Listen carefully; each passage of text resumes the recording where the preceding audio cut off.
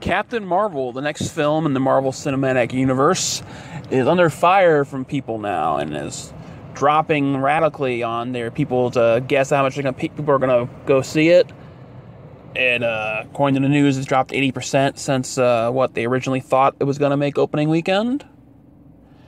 I was never going to go see it in theaters because I didn't see Infinity War. Why would I see this one?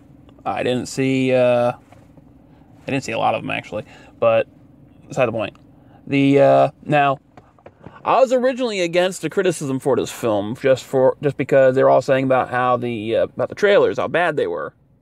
And to me, it looks the same as the other Marvel films, besides the uh, two comedy, the three comedy ones, uh, the Guardians and the uh, Ragnarok. Dressed, but it looked exact. The trailers were the exact same quality as the other ones, but the most current one, yeah, Brie's voice makes my voice sound great. A race of noble warriors. Heroes. Noble warrior heroes. Get this supposed to be a joke and everything, but her voice, I mean, it gets worse in the clip I saw of other people talking about this movie. Gotta try to find it in the actual trailer. Here we go.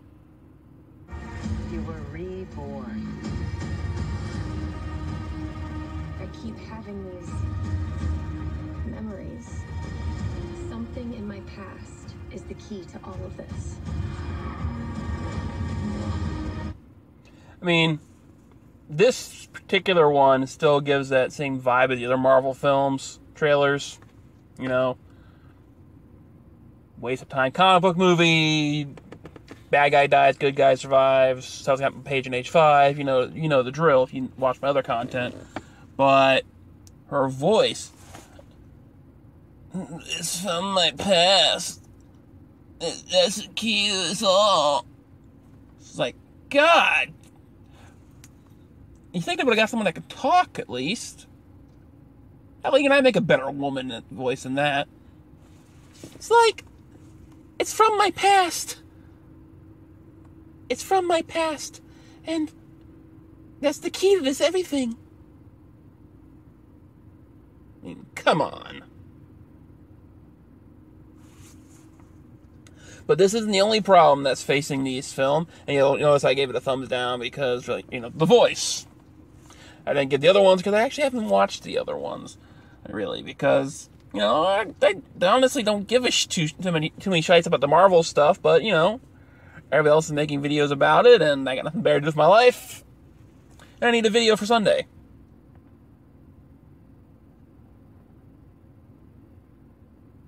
Like holy shit, it was just there.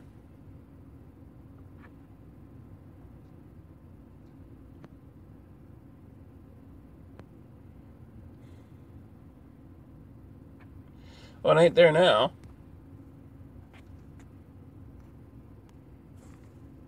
Kitty. But yeah, apparently the cat's the uh, thing people are walking out of the test screening saying they like, so they don't actually like Brie, so that's kind of funny to me.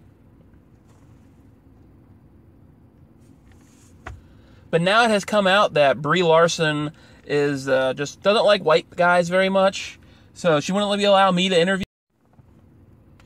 Just because I'm man, she doesn't like she wouldn't care how great the interview would go. She wouldn't care if I was all for her agenda. She just wouldn't want me to be there.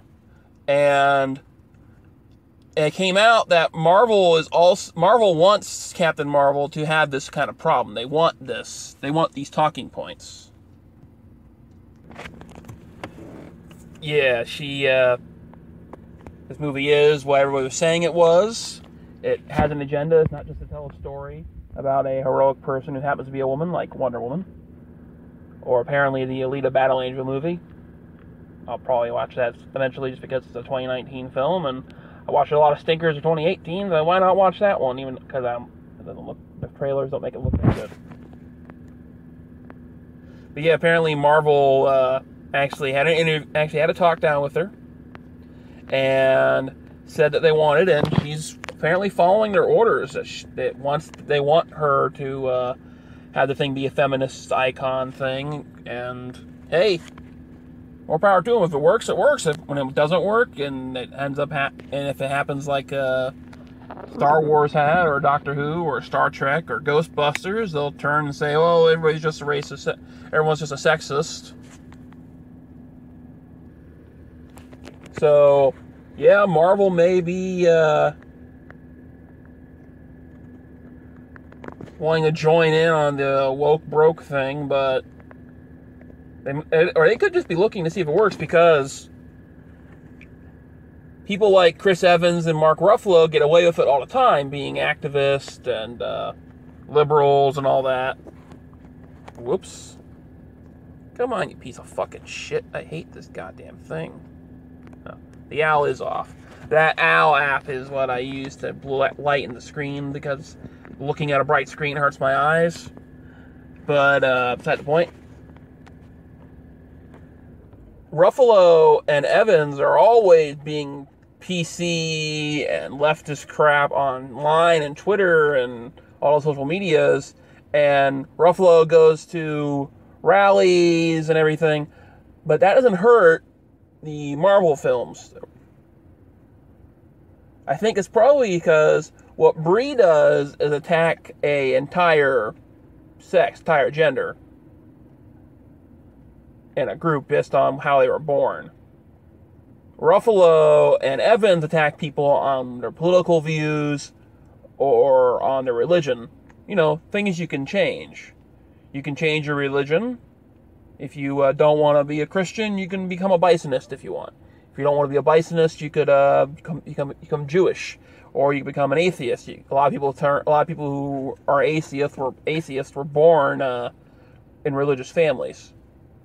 Uh, so she's attacking people because they were born with a dick between their legs and they don't have that much. They don't have any pigment in their skins because they're white.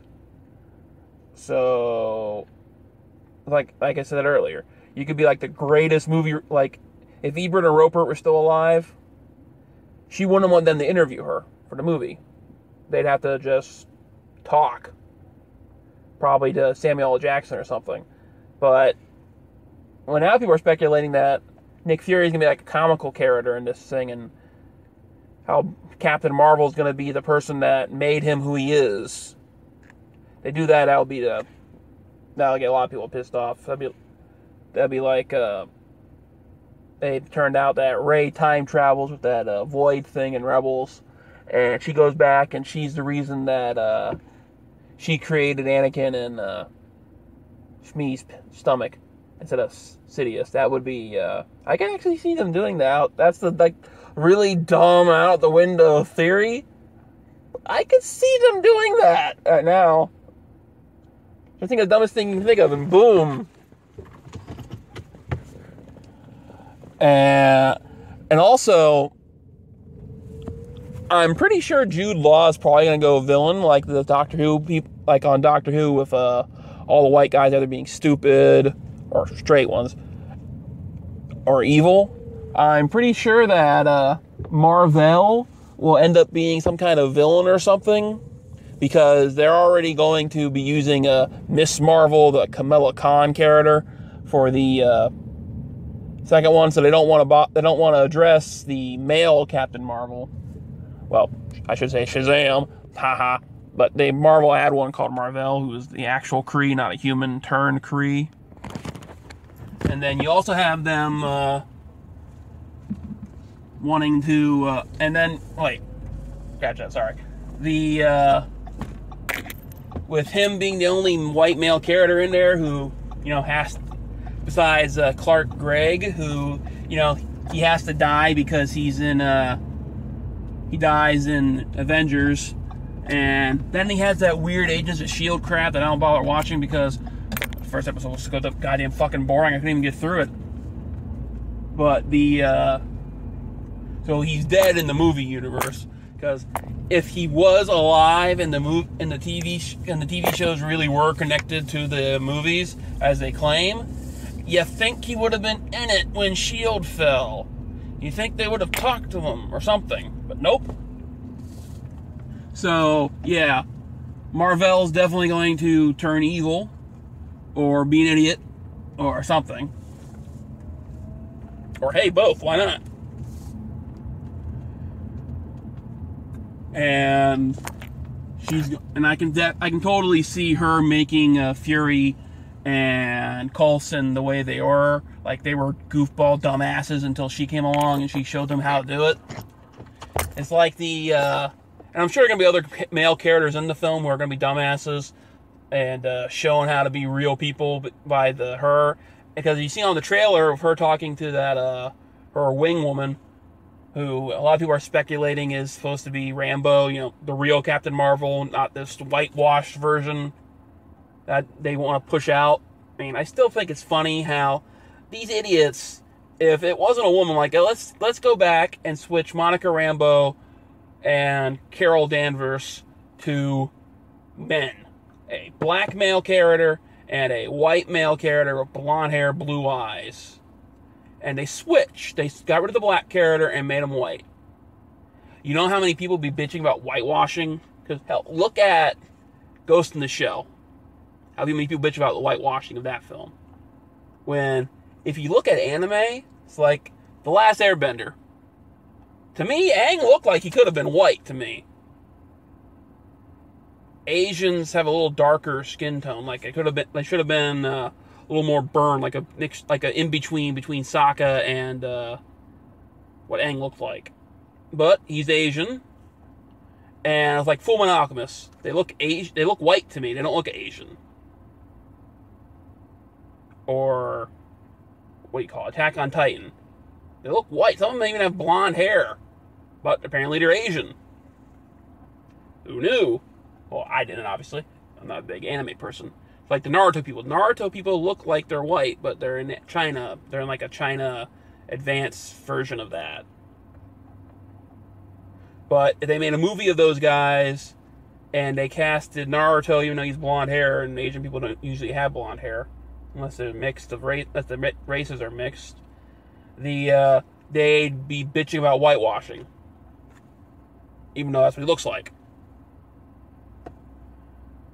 So, with them not bitching about Monica Rambeau not being Captain Marvel and it being Carol Danvers, yeah, there's definitely an agenda on that part.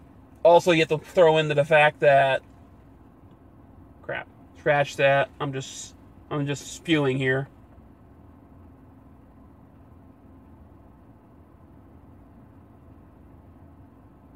Oh, that uh, I think they're already planning on replacing her because even Brie wants them to have a Kamala Khan in there, the uh, Muslim girl who looked up to Captain Marvel, who people actually like better than her in the comic industry.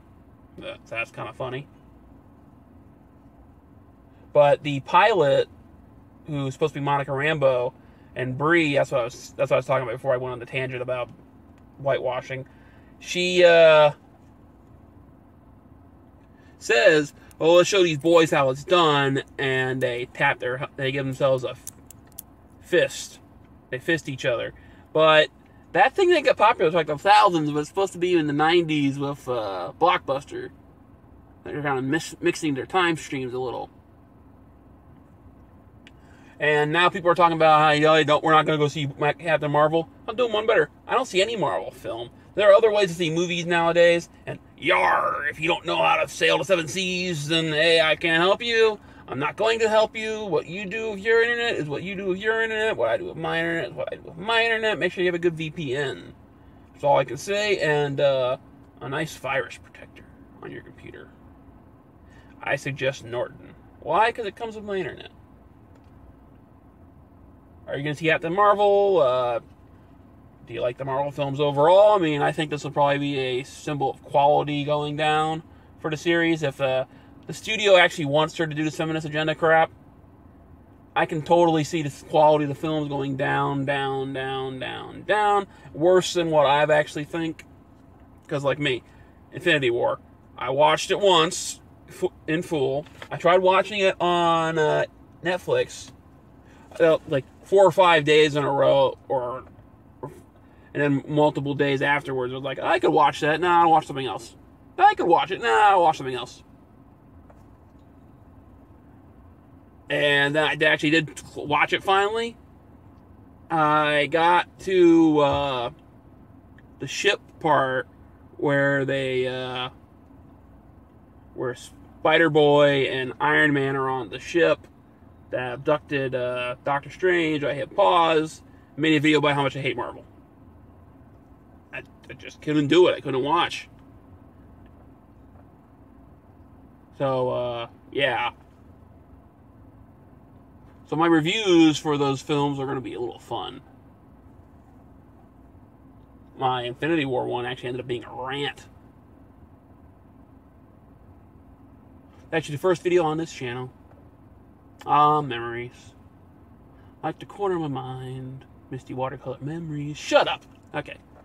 Well, uh, have a good one, and that's it.